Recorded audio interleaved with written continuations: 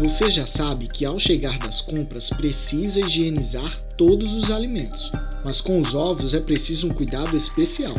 O ovo é poroso e absorve água, por isso não pode ser colocado de molho ou lavado como você faz com outros alimentos, porque ele pode apodrecer.